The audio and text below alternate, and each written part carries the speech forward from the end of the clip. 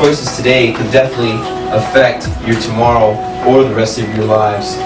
So, you know, what you do today can definitely cost you maybe not the next day, but sometime in your future.